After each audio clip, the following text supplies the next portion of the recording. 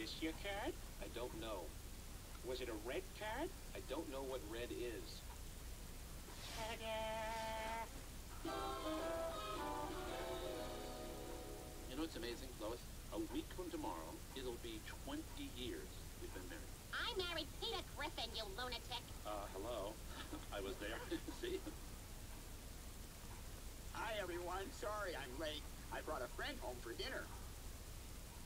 Mom, Dad, this is Scooter. Uh, hello, Scooter. Hi, Scooter. Hey, everybody. Sure is swelly to have me over. What's for each, Mrs. G? Uh, meatloaf, Pete. I mean, Scooter. I hope you like it. Leaping lizards. Meatloaf is my favorite. Scooter, how come we've never met you before? Shut up, Meg.